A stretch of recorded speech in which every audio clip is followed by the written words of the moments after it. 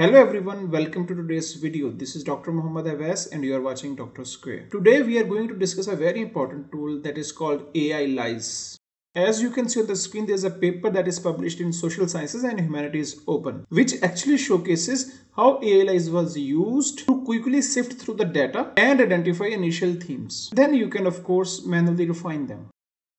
And in another paper, it also got featured in a case study from Cornell University. And actually this study wins this award as well. It basically explores how it can be used to analyze media content. So in today's video, we are going to explore how AILYZE works. We are going to know a valuable tool in academic research. Before advancing further, if you haven't subscribed our channel yet, go and subscribe and don't forget to hit the bell icon button.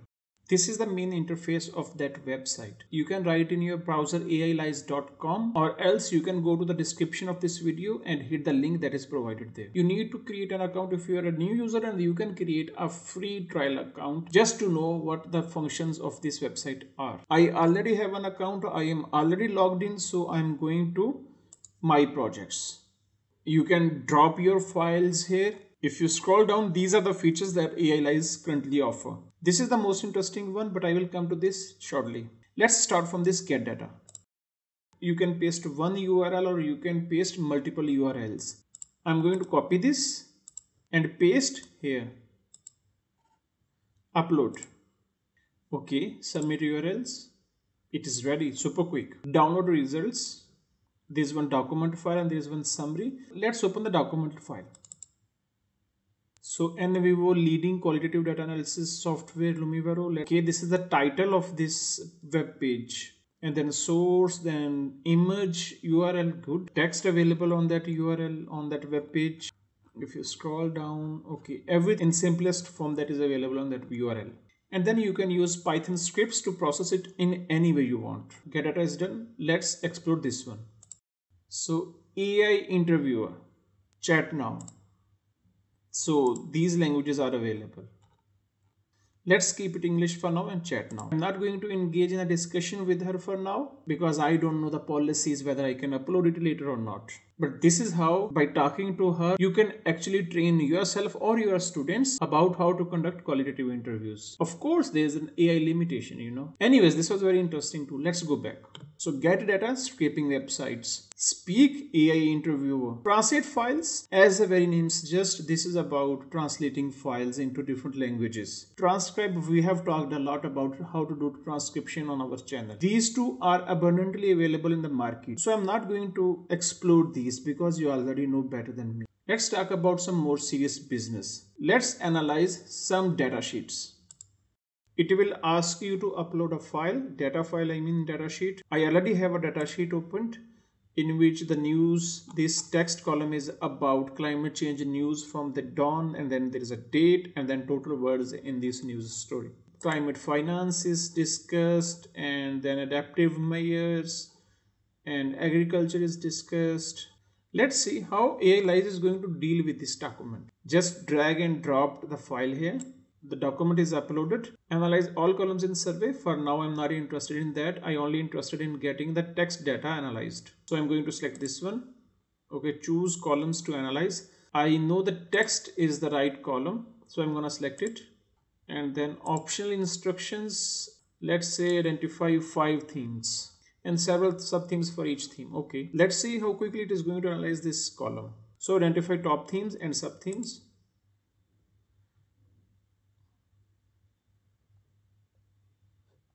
It's 12 a.m.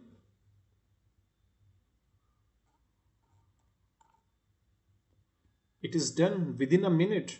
Okay, so these are the themes. Climate change environmental issues. Okay, not bad agriculture and food security remember we have seen some news about uh, agriculture health and public safety and infrastructure and development politics diplomacy and social issues this is interesting as a certified expert of two top cited qualitative data analysis softwares this is going to disrupt the market. It will not stop here. It will ask me if i want each row to be coded in spreadsheet based on these themes and sub themes even the coding is not required. Let's explore this.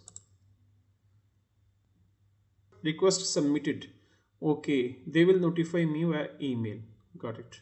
I received that email. Your project has been successfully completed in just three or four minutes. So let's go back, open this project.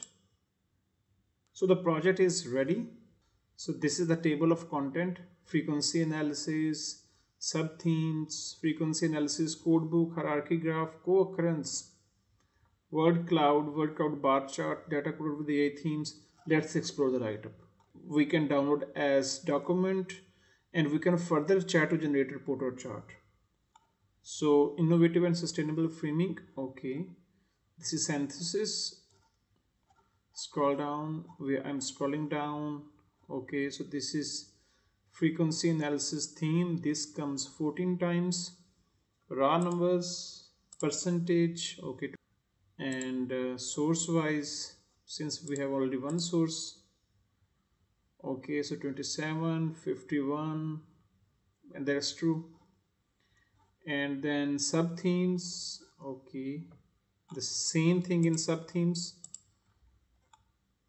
code book 14 18 and 34 references okay and then this visual graph root this theme and then these sub themes amazing. Then co-occurrence network graph that I usually do with Python but here you don't need any coding. So this is environmental activism and awareness climate finance. We can zoom in to see the relationship between different codes and then what else. Word cloud is also there. And the good thing is about word cloud you don't need to put the and search words into stop word it automatically did everything. We can download this in png okay innovative and sustainable farming and it actually gives some related codes as well. And that too without giving any prompt from my side. I asked it to go as you want to go. But if we want to customize we can actually do that by giving our personal prompts. Do this do that just like we do with chat gpt or any other generative ai tool. Go to the main page. Now let's explore this pdf files. Hit here it asks me to upload files. Again the same procedure. To test this i have downloaded a fresh copy of some news. Uh, these all news are from new york times and the condition i give to Nexis Uni to get the news is headline word should come in headings. For example if you open any one of the news you will see environment word in the heading and the source is from new york times so 50 news are there in this folder. You can imagine in your mind that we can upload actually interviews, we can actually upload our focus group data or whatever qualitative data you have. So I'm going to upload all these 40 on that platform.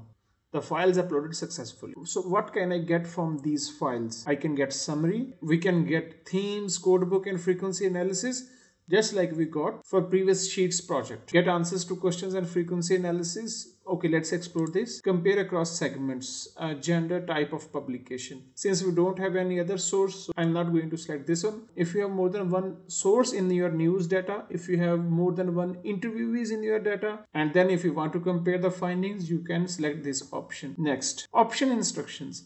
Let's explore this one first name of the project preferred language of response uh, i will let AIs to decide. Next. Okay so get ai generated themes use your own themes or codebook i don't have any codebook for now let's say. So ai generated themes.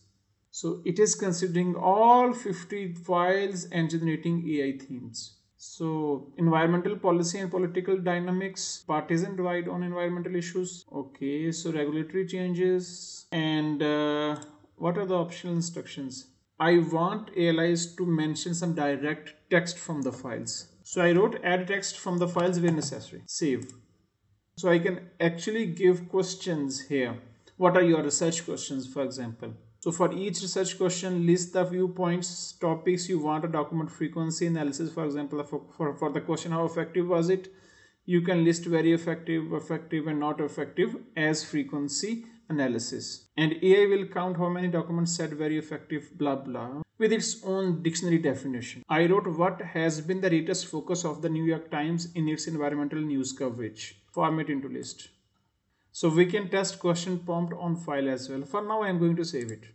So here you, you can choose whether you're getting it written in academic format, evaluation, market and product research, thematic analysis, evaluation research, linguistic analysis, policy, and systematic review. Codebook analysis, grounded theory analysis, narrative analysis, discourse analysis, content analysis. Let's select discourse analysis, thematic analysis, and then discourse analysis.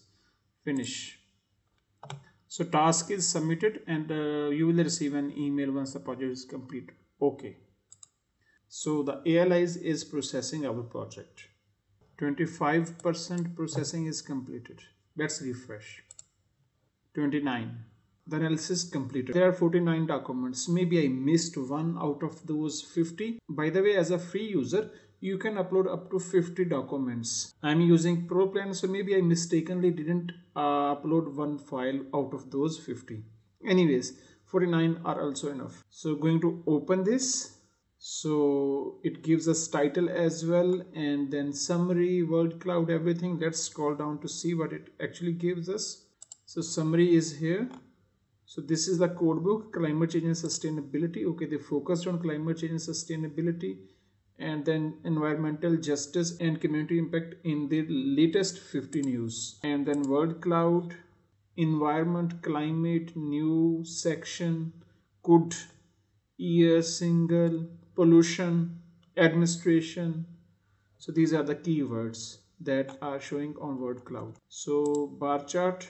Now this time they give general English as well. THE, set, new, Mr, times, and then environmental related. Scroll down in orange, you can see environmental related. Climate, gas, oil change, emissions. Wonderful. That we cannot even do with NVivo and then what is this green all about? Politics and government. Amazing. So Trump president company administration use government. And then uh, about geography so it's about New York. So I'm going to download this analysis as word document. Gave me three files.